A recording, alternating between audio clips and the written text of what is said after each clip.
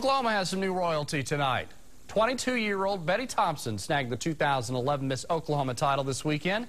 She was crowned last night by last year's winner, Emily West, at the pageant being held out there at the Mabee Center.